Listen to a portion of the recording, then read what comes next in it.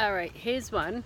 I'm sure there are much better people than me that will be able to talk you through this, much more skilled people than me um, that will be able to talk you through this. Uh, I'm in uh, Wisconsin. Uh, I'm here for the CrossFit Games and I'm just walking home after the first day. Let's walk this side so you get a nice a nice background. Um, but I'm just mulling over a situation and if you haven't worked with consultants etc before perhaps this might be useful for you. Um, so you know that song, Fool Me Once, More Fool uh, You, uh, Me, You, Fool Me Twice, More Fool Me.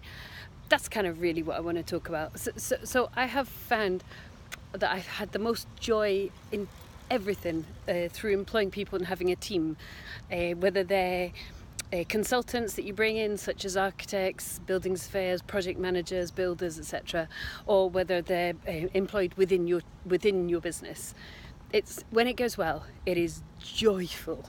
It's exhilarating it's inspiring. Oh you know two plus two making six or eight is just a wonderful place to be. When it goes badly uh, you got two choices uh, this is just my opinion. Uh, other people, more professional people in terms of HR, will be probably better at commenting on this, and please do. But when it goes badly, uh, fool me once, more fool you. Fool me twice, more fool me. Is is has been my experience. And in this particular instance, I'm thinking about a, a particular um, consultancy that they they're looking to charge us about ten thousand quid, which is you know not inexpensive, and a really work that should have been delivered in its entirety within the extremely long period of time that they think it's acceptable to deliver in has barely been touched with very little consultancy with me. Won't get into details because they kind of don't matter. Um, so I, I, I put in, I'm not a grumpy moaner, but I just put very clearly why I was frustrated so that um, it could be privately had a thought about. And their response was, well, we've kind of done the work. And I was like, ah, you kind of haven't. like zero chance that and and really at that point I've, I've got a choice haven't I? And in the past I was always like a little picker upper of broken birds and I'd always be like oh let me try again. Let me see if you can develop and improve. Um, but that path doesn't work. I've experienced it. People are showing you their colours and you've got A's B's C's you know, and I, and I hate judging people, and I hate always hated judging people.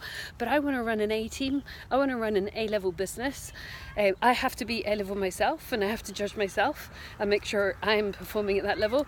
And if I uh, agree to continue with um, very poor kind of C or D level working practices from anybody, that's my fault, isn't it?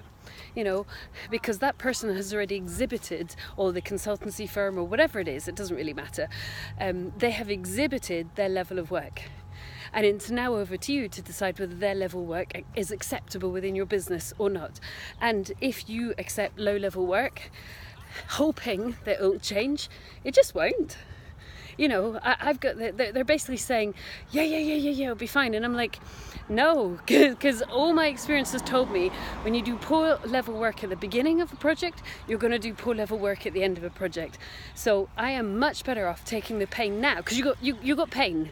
Whether you do the pain now or whether you do the pain later, you or I are, are going to have pain now. I got the pain of finding a different consultancy firm but it's better that I do it now than in three months' time when I say to myself, well, you know what, Suze, as much as it's their fault, they gave me every sign and every indication that they were going to behave like this, and I chose to ignore those warning signs. So take the pain, in my opinion, take the pain early, cut, cut the relationship with as much respect as you possibly can.